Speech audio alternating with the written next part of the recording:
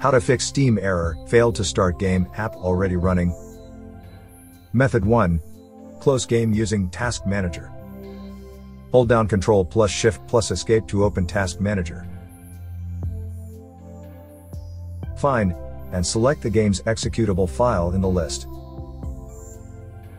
Right-click the selected process. Click End Task.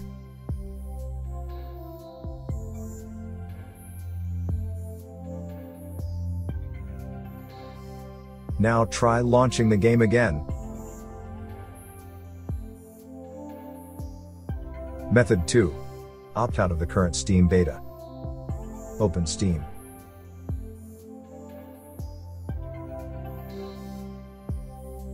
Click Steam on the upper left, then select the Settings menu.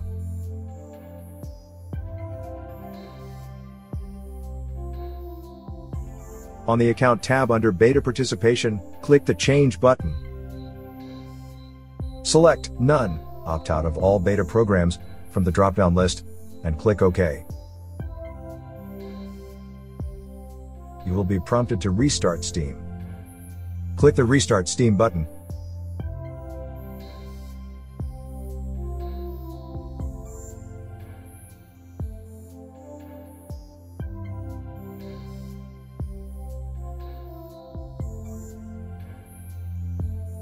Try launching the game. Method 3. Verify game file integrity. Open Steam Client. Click the Library tab to view your games. Then, right-click the problematic game and select Properties.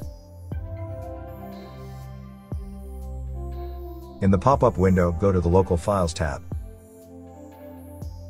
Then click the Verify Integrity of Game Files button. Wait for the game files to be verified.